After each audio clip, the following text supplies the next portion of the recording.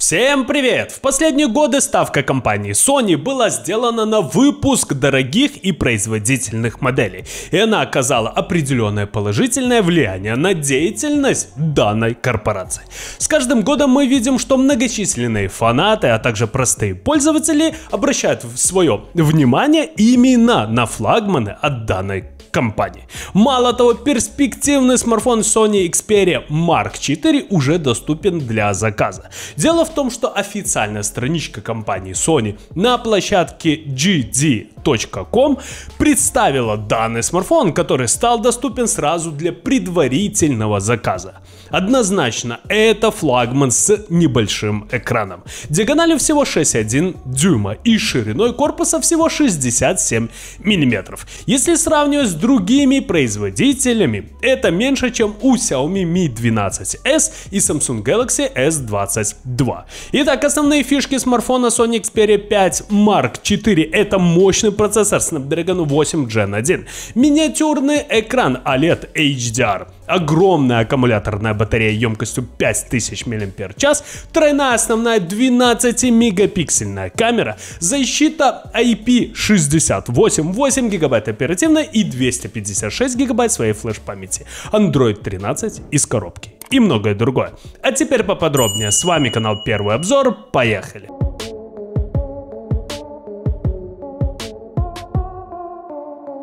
Первое, что хочется отметить, смартфон Sony Xperia 5 Mark IV оснащен очень большим аккумулятором емкостью целых 5000 мАч. Также смартфон получил 30-ваттную проводную, а также беспроводную зарядку, но неизвестной мощности, ну по крайней мере сейчас.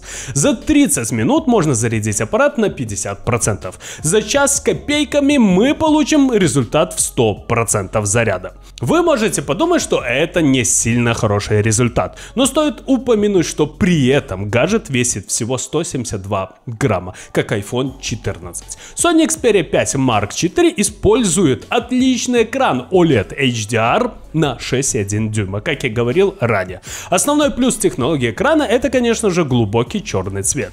Также компания Sony заявляет о 100% покрытии цветового пространства DCI-P3, неполном охвате пространства BT 2020, 10-битном цвете, но сам дисплей тут 8-битный, дополнительные 2 бита при помощи программного сглаживания достигается. Также стоит отметить, что смартфон оснащен флагманской однокристальной системой от компании Qualcomm, а именно Snapdragon 8 Gen 1. Напоминаю, это 8-ядерный чипсет, который был анонсирован 1 декабря 2021 года и изготавливается по 4-нанометровому техпроцессу. Он имеет одно ядро Cortex X2 на 3.0, 3 ядра Cortex A710 на 2.5 и 4 ядра Cortex A510 на 1.8 ГГц. Со звуком, как всегда, дела у компании Sony обстоят замечательно. Есть и редчайший на флагманах мини-джек с весьма достойным аудиотрактом. И Bluetooth 5.2 с поддержкой всех ключевых профилей.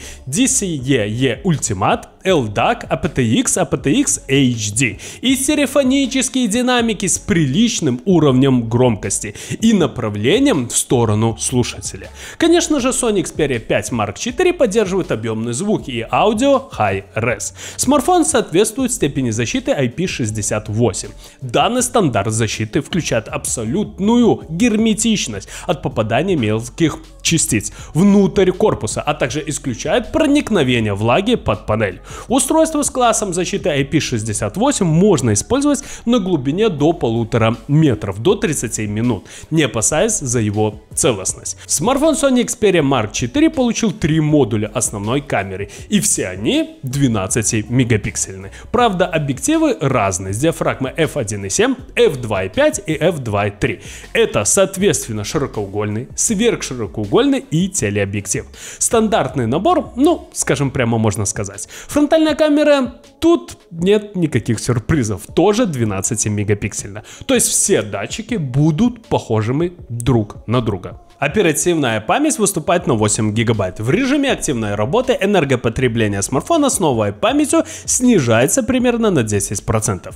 В режиме сна дела обстоят еще лучше благодаря новому режиму глубокого сна, который гарантирует, что память потребляет на 40% меньше энергии в режиме ожидания. Встроенная флеш-память выступает на 256 гигабайт. Напоминаю, эта модификация добавляет энергонезависимый буфер NAND, нужный для увеличения скорости записи, а также функцию, помогающую переводить накопители в режим сна. Также накопитель может, что интересно, информировать другие комплектующие о тротлинге, что позволяет системе оптимизировать производительность при перегреве. То есть все продумано, на мой взгляд, все на высшем уровне. Также, что интересно, в коробке не будет не только зарядного устройства, но и кабеля для передачи данных, то есть вообще ничего нет, только сам смартфон, ну и макулатура. Как заявляет официальный представитель, это сделано из соображений энергосбережения, сокращения выбросов и защиты окружающей среды.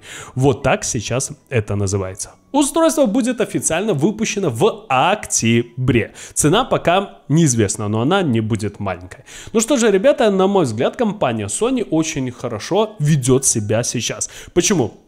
Потому что данная компания выпускает смартфоны флагманы. Зачем э, идти в низшую, можно сказать, лигу или в среднюю, где там очень большая конкуренция. То есть там есть и компания Xiaomi, там есть и компания Realme, и OnePlus и так далее. То есть множество компаний, э, с которыми очень сложно конкурировать. А вот в нише флагманов очень даже себе э, компания Sony чувствует хорошо, можно сказать.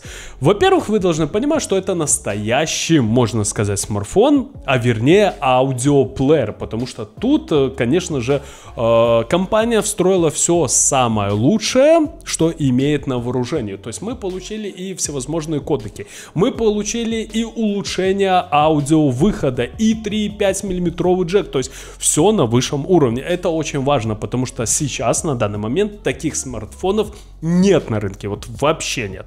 Во-вторых, мы получили достаточно неплохой процессор. Да, а, вы должны понимать, что тут не стоит процессор плюс, то есть Snapdragon 8 Plus Gen 1, но все же 8 Gen 1 это достаточно неплохой процессор. Да, он нагревает ваш смартфон. Да, конечно же, тротлинг есть после некоторого количества времени. Но этот процессор один из самых мощных на данный момент. Конечно же, кто-то мне напишет в комментариях, что хотелось бы увидеть процессор от компании Dimensity, но как есть, как решила компания, увы, мы тут ничего сделать не сможем.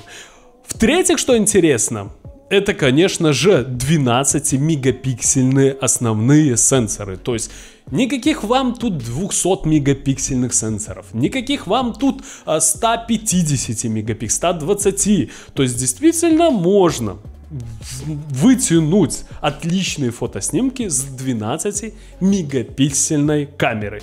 И вы должны понимать, что это все маркетинговый ход, конечно же, потому что э, если взять камеру на 12 мегапикселей, новую камеру и взять на 200 мегапикселей, конечно же, такой существенной разницы вы не увидите, например, в 8 раз. Конечно же, нет. И вы тут должны понимать, что это все маркетинговые ходы. Вот такой смартфон получился у компании Sony. На мой взгляд, он получился очень и очень интересный. А покупать ли его, решайте только сами. С вами был канал Первый Обзор. Кому понравилось видео, ставим лайки, подписываемся на канал. Всем спасибо, всем пока.